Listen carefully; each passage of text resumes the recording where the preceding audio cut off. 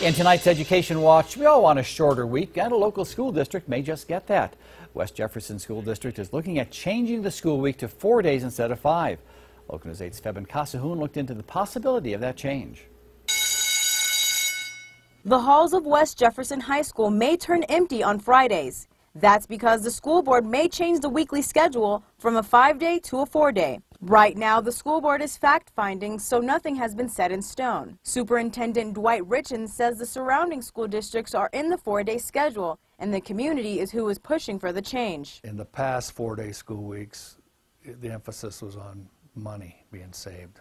Most of the school districts that are on the four-day week, you, it was finances that drove them. And so this is a little different. English teacher Jason Taylor has a bit of a different perspective because he's taught on a four-day week before in Marsh Valley. He understands the skepticism but says the transition will be beneficial. I think student and teacher morale improves. You know, there's less burnout at the end of the year. Attendance improves, I think both teachers and, and students. The district saves a little money uh, as a result. Uh, and they do all that while I think not impacting student achievement. 31-year educator Mark Sawicki says he comes from an old school background in terms of how schools operate and scheduling.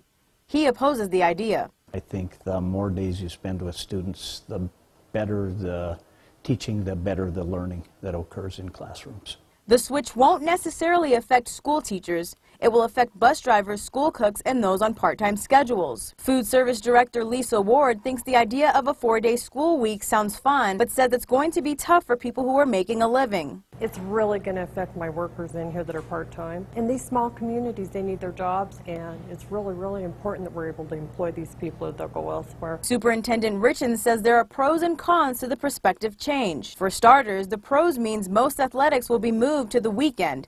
The district will save money, student attendance will increase, teacher salaries will remain the same, and less substitutes because most teachers will use Fridays as days for personal appointments. The cons are bus drivers, food service workers, and part-time workers will have a 20% pay cut since they're missing a day. Longer school days which lead to later practices, and at-risk students will lose classroom help. The next school board meeting will be next Monday, November 28th at 9 a.m. It will take place in the district office in Terreton. The meeting is open to the public, and parents and other people will be able to voice their opinions. If the school board votes for the four-day school week, the new schedule is set for 2017-2018 school year.